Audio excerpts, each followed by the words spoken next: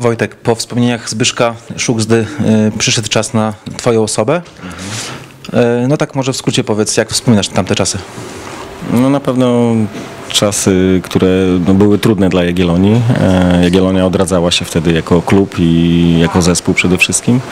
E, na pewno były to piękne czasy i, i mam duży sentyment do tych czasów, e, zwłaszcza do, do stadionu przy ulicy Jurowieckiej, e, bo to był wtedy nasz obiekt, e, na którym graliśmy mecze, który, który był kojarzony przede wszystkim właśnie przez kibiców.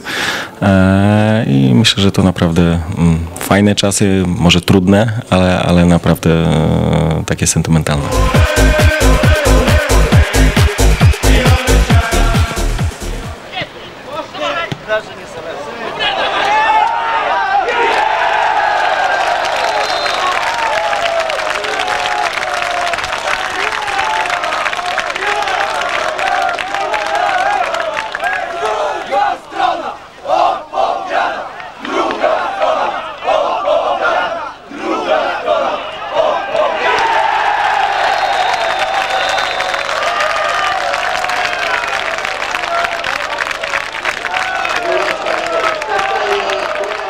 Sezon zaczęliśmy e, meczem ze Zniczem Pruszków. E, byliśmy po spadku e, wtedy z pierwszej ligi.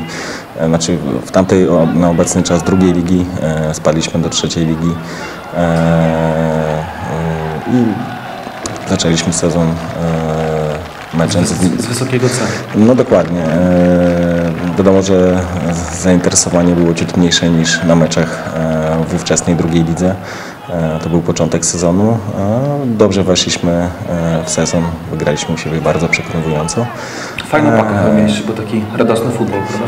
Dokładnie, dokładnie. Znaczy, mm, większość zawodników, która a, spadła wtedy z drugiej ligi, e, została w naszym zespole. E, to było kilka, e, kilku naprawdę fajnych, dobrych zawodników i, i od początku e, sezonu żeśmy postawili sobie e, za cel e, awans i można powiedzieć na przestrzeni całego sezonu wygraliśmy tą ligę wtedy zasłużenie.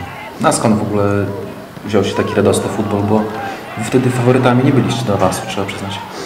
Znaczy, nie byliśmy. Jagiellonia zawsze jest faworytem e, w, tych meczach, w których gra. I mieliśmy naprawdę, tak jak powiedzieliśmy, mm, naprawdę fajny zespół, młody, mieszanka rutyny trochę z młodością, bo i, i dlatego może wynikał z, z naszej powiedzmy gry taki futbol dosyć ofensywny, bo e, grał wtedy Zbyszek Szulza i Zydek Żuberek. Wiadomo, że to byli zawodnicy e, o olbrzymim doświadczeniu. E, Marcin Danielewicz, e, którzy mieli za sobą występy w Ekstraklasie no i była e, grupa młodych chłopaków z Białego Stoku, która, która chciała coś osiągnąć e, w piłce i to naprawdę było dobre pomieszanie powiedzmy e, zawodników doświadczonych e, z młodymi.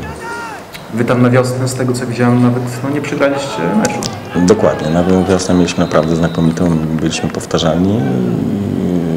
Była bardzo dobra atmosfera w zespole i, i zaowocowało to naprawdę e, dobrą rundą wiosenną i w konsekwencji e, wygraniem ligi.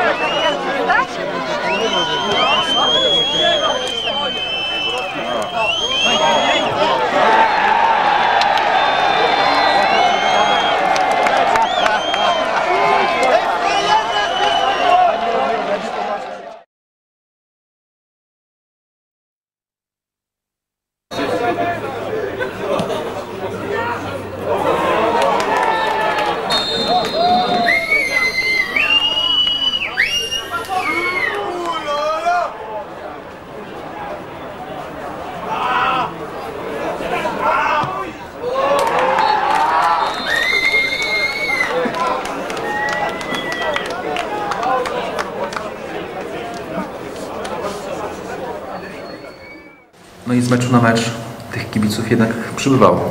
Tak, no przede wszystkim sentyment do, do Jurowieckiej boiska, e, które było zawsze nasze, że tak powiem i znaliśmy, można powiedzieć, każdy centymetr, każdy metr tego boiska. E, Ono zawsze było naszym atutem e, naprawdę to były fajne czasy. Ludzi przychodziło coraz więcej. E, Odzyskiwaliśmy zaufanie kibiców i odpłacaliśmy się im na, e, na boisku e, za ich frekwencję i myślę, że E, Wiadomo, że to był poziom trzeciej ligi, też nie ma co tutaj e, jakby popadać e, w jakieś takie hurraochy i, to była trzecia liga, nie oszukujmy się, to trz- trzeci poziom rozgrywkowy w Polsce, E, ale stworzyliśmy naprawdę fajny zespół e, i, i, dobrze nam szło. No wtedy nie graliście jeszcze w pasiakach, a te stroje widać też ciekawe były, bo tam we wcześniejszym meczu czerwone spodenki i biało-czarne koszulki. Dokładnie, dokładnie, dokładnie. to fajnie No, skomponował sobie. No z tych, z tych stroi trochę różnych e, było rzeczywiście, ale, ale myślę, że stroje nie grają. My graliśmy w piłkę i dobrze to wyglądało. Rozegraliśmy kilka fajnych spotkań e, derbowych, między innymi właśnie z Wigrami Suwałki wtedy. A przewrotka się strzela chyba nie- nieczęsto. No nieczęsto, może to nie była taka klasyczna przewrotka, ale e, uderzenie rzeczywiście z wigrami e, dało dużą mi satysfakcję, a przede wszystkim to była bramka na wyjeździe w meczu derbowym, gdzie byli nasi e, kibice na trybunach i, i na pewno to było dla nich też bardzo ważne. Patrz kurwa jak poszedł! O patrz! O, o, zobacz! Kurwa! Nie! Kurwa!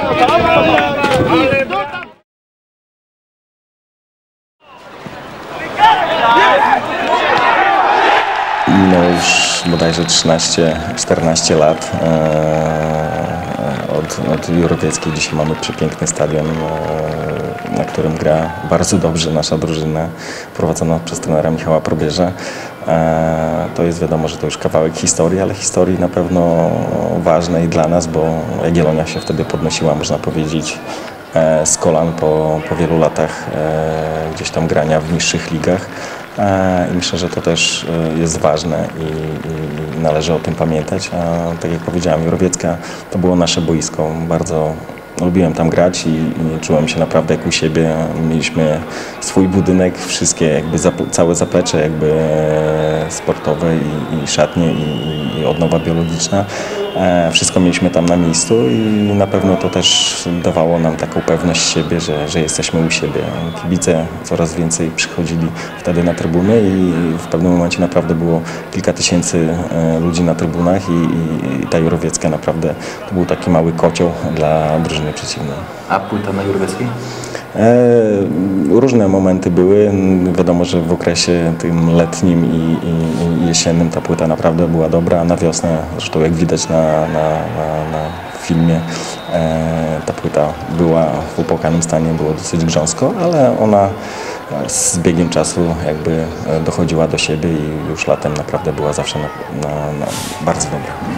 Jeszcze kwestia samego nagrania, bo widać, że ktoś no, musiał tam na te mecze jeździć, to wszystko filmować. Tak, był kamerzysta, który... Komuś zależało. Dokładnie. Znaczy trener e, ówczesny, e, który nas prowadził, e, bodajże Witold Mroziewski, e, nagrywaliśmy te mecze e, i e, był kamerzysta, który jeździł i wiadomo, no, to był mimo że trzecia liga to był pierwszy zespół, który mm, analizowaliśmy również te mecze, więc był kamerzysta, który jeździł na te mecze, kręcił i, i po całym sezonie, po, po awansie, po sukcesie w sumie można powiedzieć do, na zaplecze wtedy ówczesnej pierwszej ligi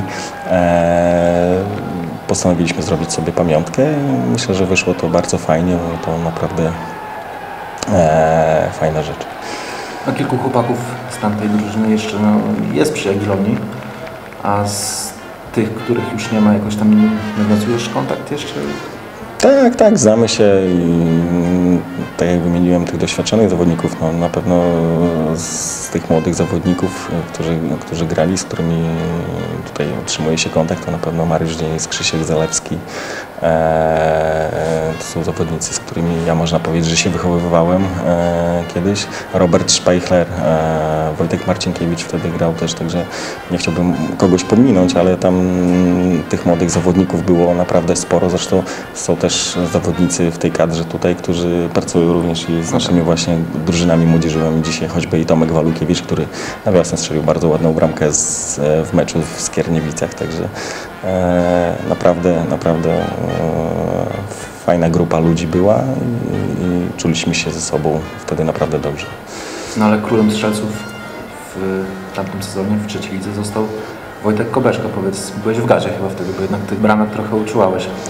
No tak, nazbierało się trochę tego na przestrzeni e, e, tych spotkań. Strzeliłem 20, e, 23 bramki. E, Oczywiście był to fajny, udany czas. E, Rzeczywiście moja dyspozycja była wtedy dobra, ale przede wszystkim mieliśmy naprawdę dobry zespół. To też mi się na pewno łatwiej zdobywało te bramki, kiedy ma się obok naprawdę tak dobrych partnerów na boisku. Także na pewno to cieszyło, aczkolwiek czy to była moja optymalna dyspozycja w tamtym sezonie? Miałem też i lepsze momenty myślę, że za trenera Nawałki, kiedy graliśmy jesień e, na zapleczu Ekstraklasy, e, miałem bardzo dobry okres i, e, i tamten chyba okres wspominam jako taki najlepszy w, w swoim okresie, powiedzmy, grania w, w piłkę w Jagiellonii.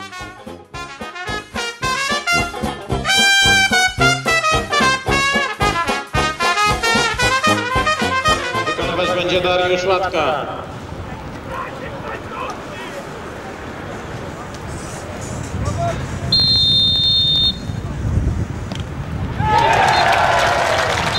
Jeden do zera.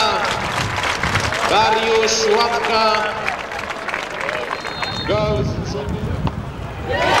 I ponownie Dariusz Łatka. 2 do 0. Obie bramki zdobyte z rzutów karnych. 2 do 0 Dariusz Łatka.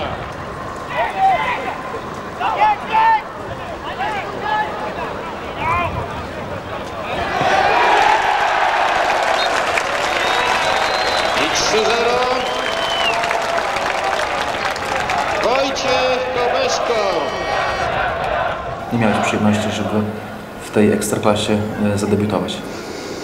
E, tak, no, na pewno jest jakiś tam niedosyt, aczkolwiek różne względy zadecydowały o tym, że, że wyszło tak, a nie inaczej. E, na pewno byłbym w stanie tam grać na tym poziomie, przynajmniej tak myślę. Wielu kolegów, z którymi grałem właśnie między innymi w tym okresie, e, z, z których oglądamy film, grało na boiskach później ekstraklasy, to byli chłopcy, którzy byli o podobnym potencjale jak mój.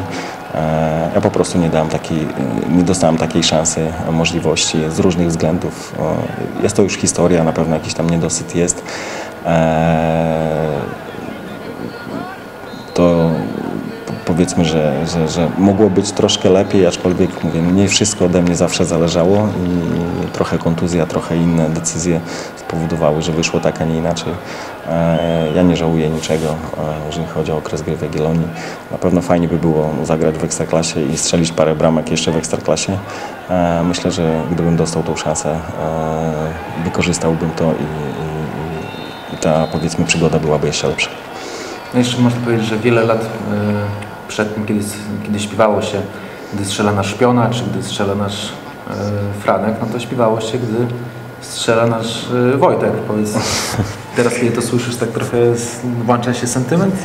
Czy... Sentyment był, Bo ta jest... piosenka wtedy w ogóle została jakoś tak, Tak. wymyślona. Znaczy, bodajże, nie wiem, czy ta kiedyś kibice, e, z którymi tam rozmawiałem, to mówi, że chyba tam, po raz pierwszy chyba ta piosenka była śpiewana za czasów Jacka Bajera. czyli E, dokładnie, została odświeżona wtedy, kiedy ja, że tak powiem, e, grałem. Oczywiście e, był, jest i będzie sentyment do tego. To była niesamowita rzecz, kiedy kiedy e, czy to na Jorowieckiej, a później już na stadionie miejskim, kiedy już się przenieśliśmy na tych rozgryw, e, w rozgrywkach o wyższych szczeblach, e, graliśmy, no na pewno ciarki przechodziły po plecach, do, dawało niesamowitej motywacji na boisku i dodatkowych sił. No coś wspaniałego i naprawdę to jest duża pamiątka dla mnie i, i, i bardzo to doceniam, ale też e, zostawiłem dużo zdrowia w tym klubie i wydaje mi się, że e, zawsze dawałem z siebie 100% na boisku i, i, i, i też starałem się odwdzięczyć właśnie e, kibicom za, za, za ich doping i za ich wsparcie.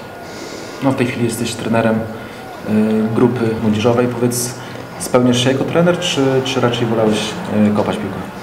Znaczy, zawodnikiem już można powiedzieć tak, to już jest historia i, i trudno powiedzieć. Na pewno zawód trenera jest troszeczkę e, inny niż piłkarza. Jest na pewno e, moim zdaniem trudniej. E, Nie jest, to, nie jest to takie proste jak e, bycie zawodnikiem. E, Zawodnik przychodzi, ma wszystko gotowe, przygotowane przez trenera. Wystarczy tylko wyjść i, i robić to, co się kocha, czyli trenować i grać. Trener jednak ma na sobie dużą odpowiedzialność za, za cały zespół i staram się w tym realizować. Lubię to, co robię w tym momencie i można powiedzieć, że kręci mnie ten zawód trenera i chciałbym się w tym rozwijać. Zobaczymy, e, jak to kiedyś będzie.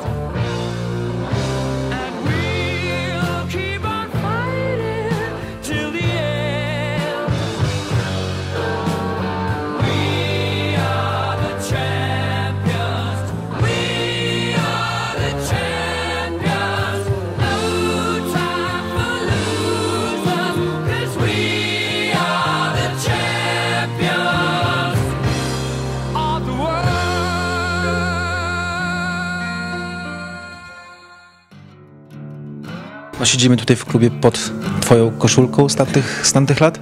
Powiedz, ci starsi kibice z Białegostoku czasami coś tam zaczepiają już na ulicy? Pamiętają w ogóle ludzie no, osobę Wojtka Kobeszki? E, Tak, e, jest to na pewno miłe i, ludzie pamiętają e, ten okres, powiedzmy, Jagiellonii, która borykała się z, tymi wtedy problemami, która się odradzała. Można powiedzieć, że klub i, i, i zawodnicy pracowali na to, żeby, żeby klub wrócił na najwyższe, powiedzmy, rozgrywkę, no, rozgrywki ligowe w Polsce, ale i kibice też robili wszystko, żeby nam w tym pomagać i bez nich na pewno nam to by się nie udało.